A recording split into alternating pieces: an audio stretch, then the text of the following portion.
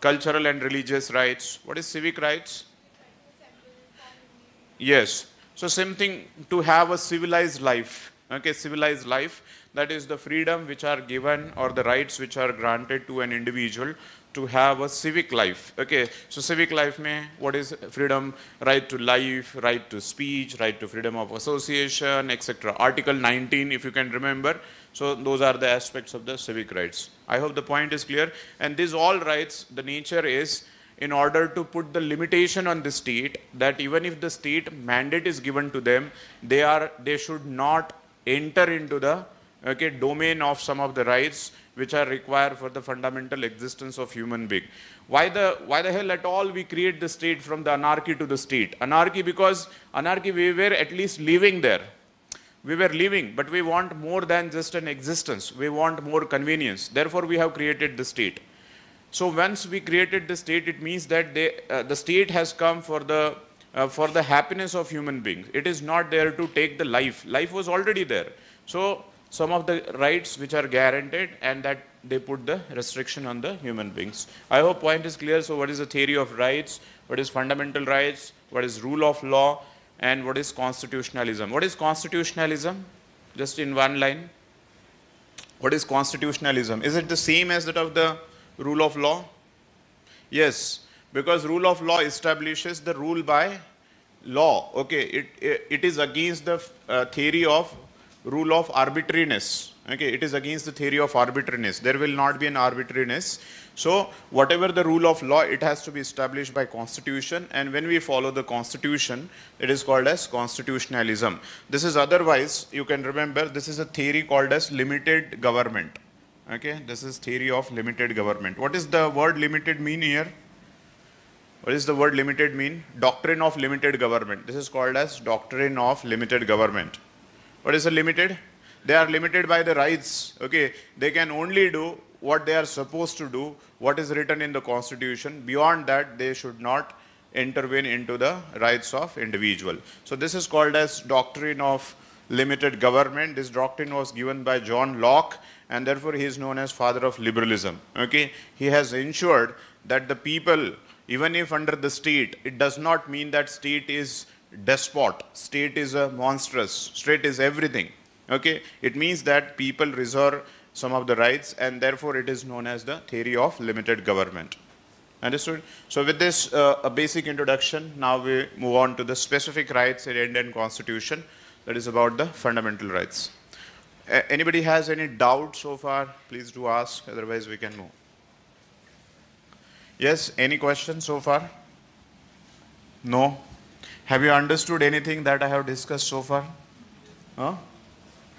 या पूरा मतलब यॉर्कर तो गया नहीं तो बाउंसर तो गया have you understood okay so now let's uh, move on to the fundamental rights uh, again we will see that some of the characters of fundamental rights first and then we can move into the okay that is about the uh, special provisions so special features special features of fundamental rights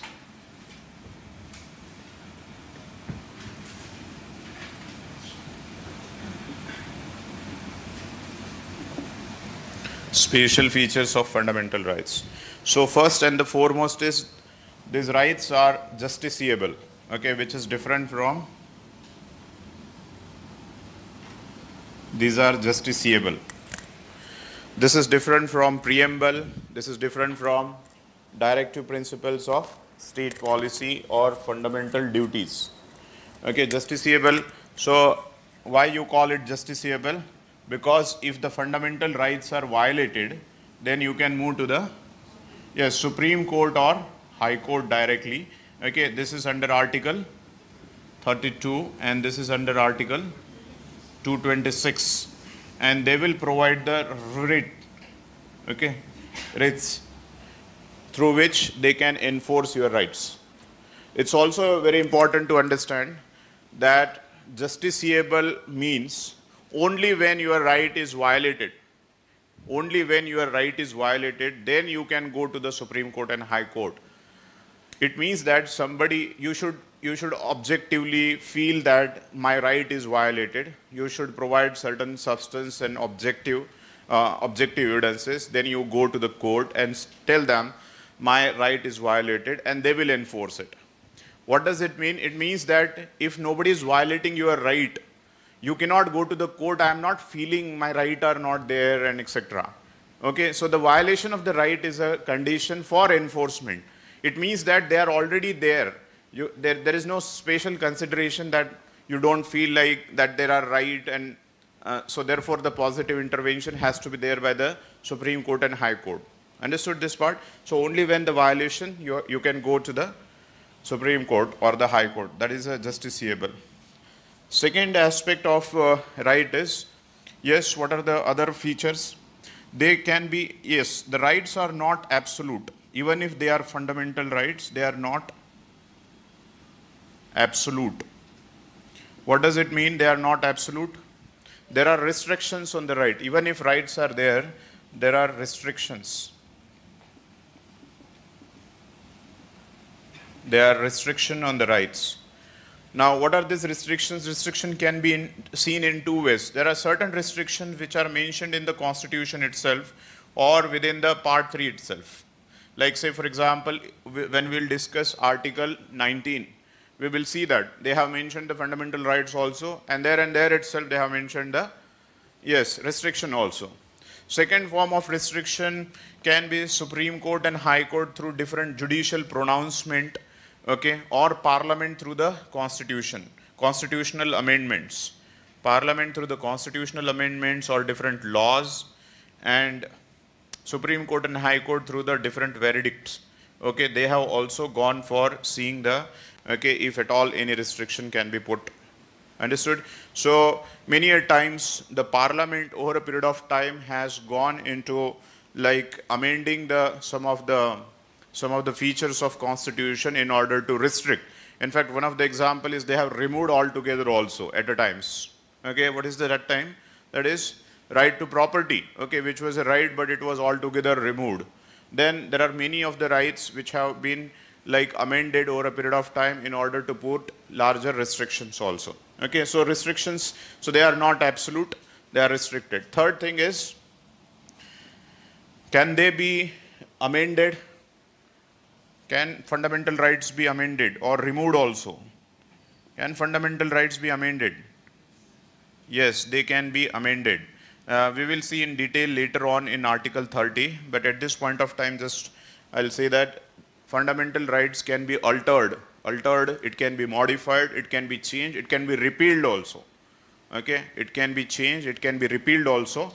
And this amendment, but there are, it's not put as a simple law process. Okay, the parliament, uh, they have to go through the constitutional amendment.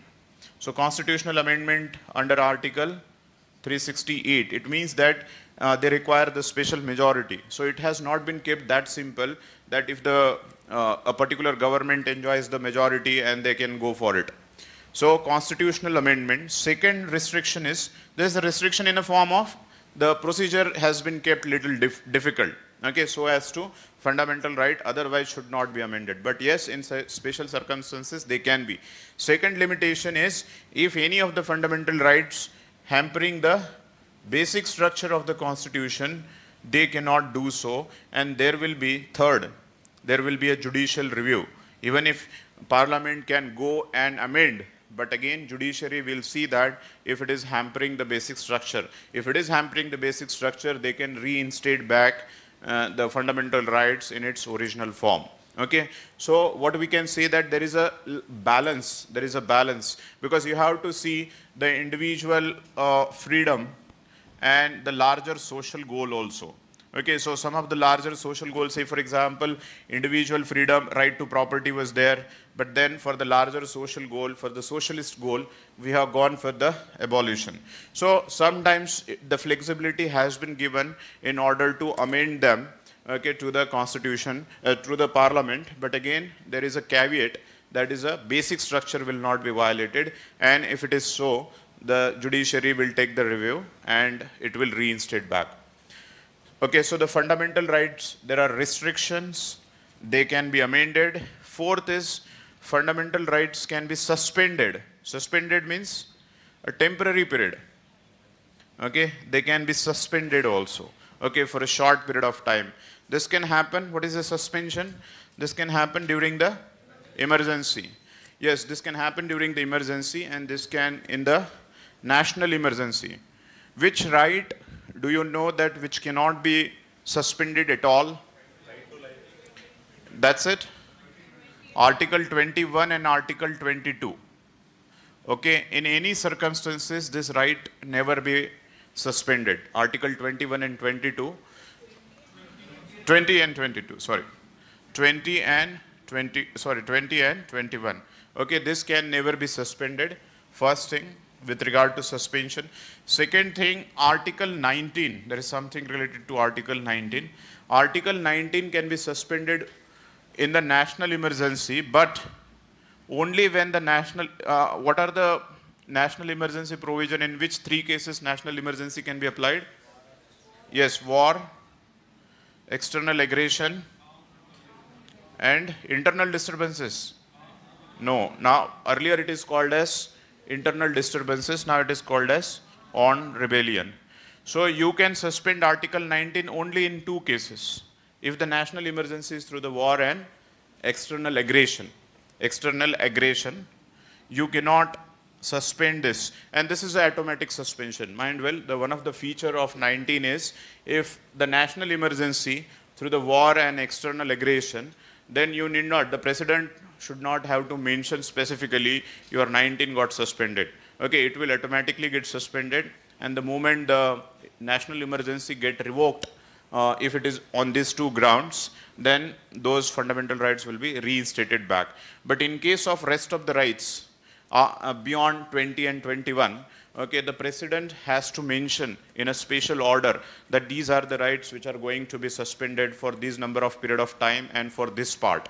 So these number of rights for this particular part of India or whole part of India and for this long. Okay, so they will tell about which rights, they will tell about which part of India and they will tell about that is uh, till what time. Okay, so this will be uh, not an automatic and this is an automatic suspension. So what we are seeing is the fundamental rights although they are justiciable, uh, they are restricted also, they can be changed also, they can be suspended also. Okay, so these are some of the feature. Apart from that there are certain other things like these fundamental rights, most of fundamental rights, most of fundamental rights are nature of nature of restrictions imposed on state. Nature of restrictions imposed on state. This is what i have been telling for last half an hour that is they are the restrictions. They are the restrictions on the states. Whereas the directive principle of state policy they are they are the guidelines. Okay they are the guidelines. So they are telling that state you please do this.